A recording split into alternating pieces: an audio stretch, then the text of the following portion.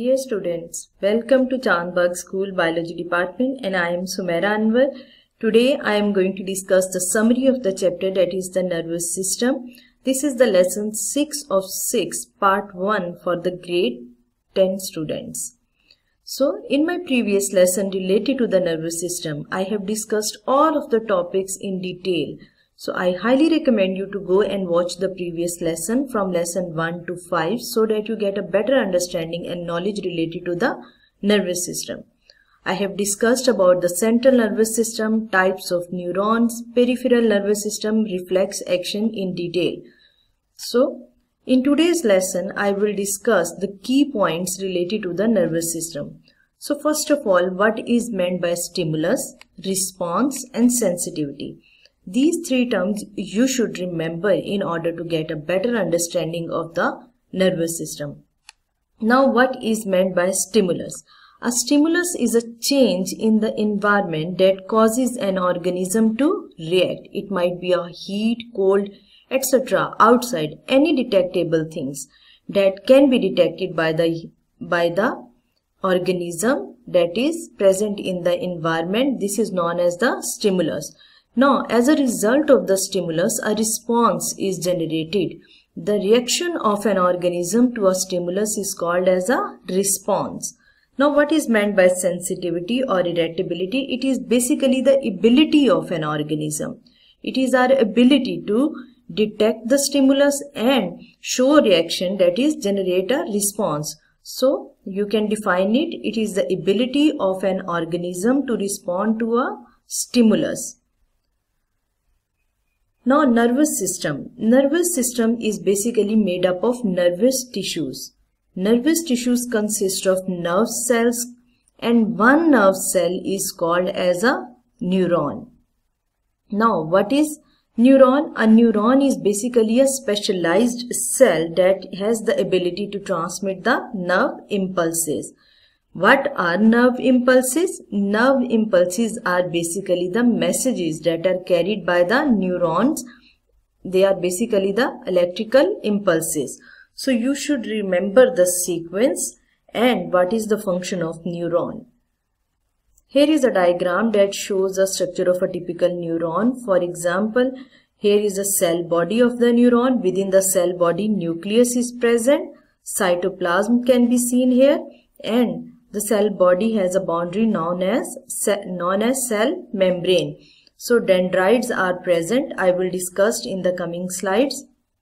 And axon so you should remember the three parts that is the cell body the second one is the dendrite and the third one is the axon so these are the three parts. So nerve endings are also present at the end in order to transmit the nerve impulses from one neuron to the other neuron.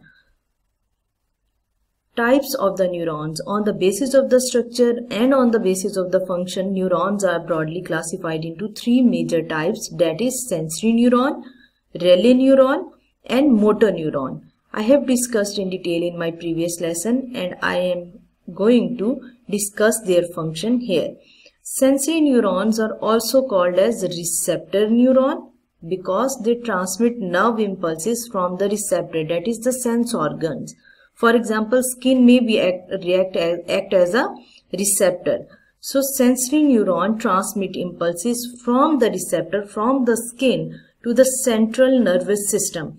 Now within the central nervous system an other type of neuron is present that is known as the relay neuron.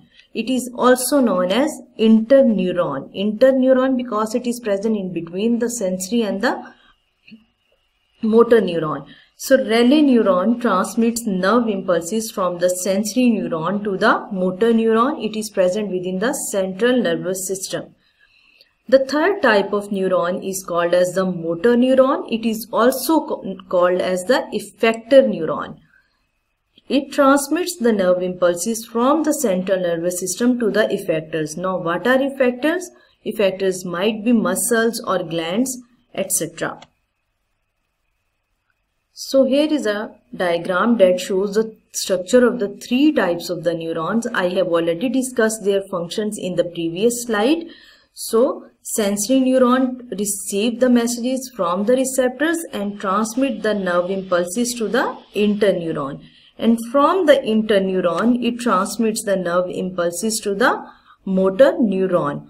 So you can see the structure in case of the sensory neuron, cell body is located here. Here are the dendrites and here is the axon. So a dendron transmits nerve impulses towards the cell body. So from the dendrite, the nerve impulses, that is electrical signals, they are transmitted to the cell body. You can see here the direction of conduction of nerve impulses. From the cell body, nerve impulses will move a wave with the help of axon. So an axon transmits nerve impulses away from the cell body of a neuron.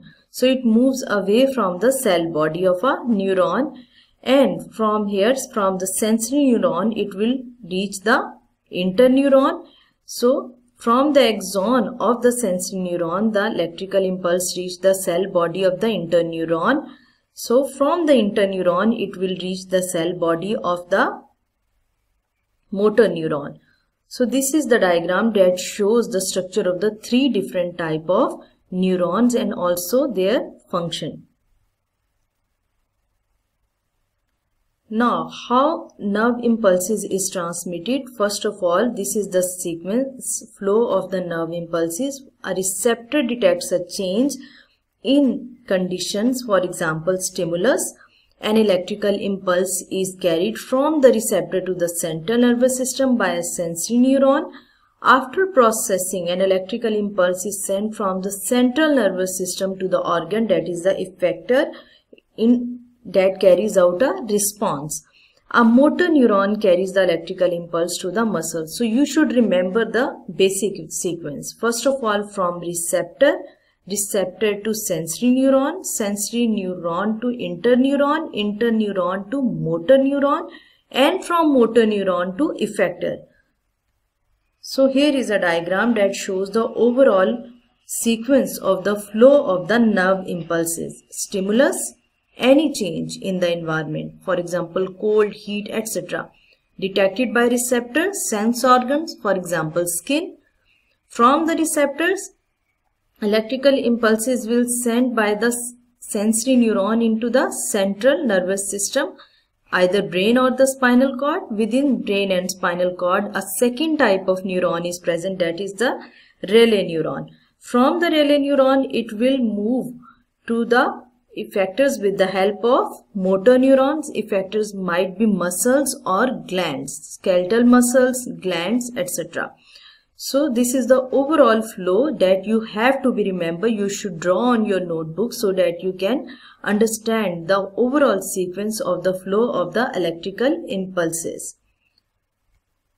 Now what is meant by synapse? A synapse is a junction between two neurons or a junction between a neuron and an effector. So here is one neuron and here is the second neuron.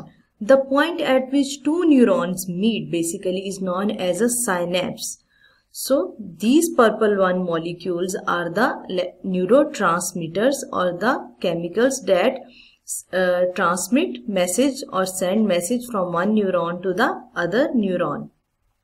To get a better understanding about the synapse, you can see here.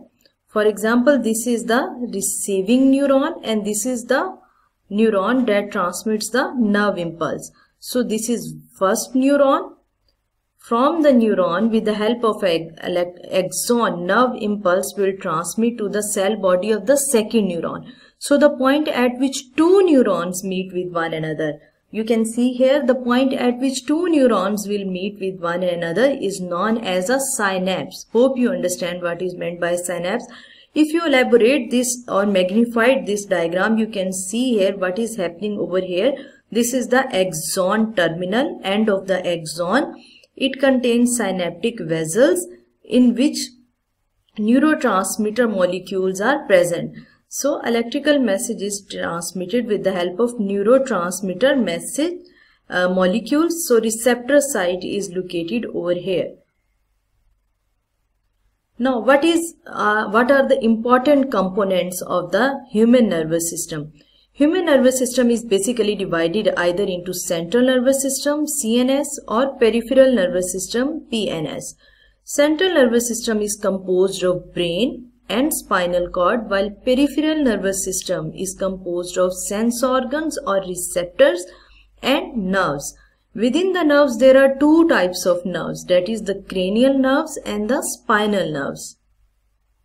We will discuss about the parts of the brain and the and their functions also the function of the spinal cord and the function of cranial nerves and spinal nerves in detail in part 2 of the summary that is the lesson 6 of 6 part 2 hope you understand the key points related to the topic write down the lecture points so that you understand them written assignment write down all the lesson points on your biology notebook i have discussed today also draw the diagrams shown and discussed in the lesson and label them properly.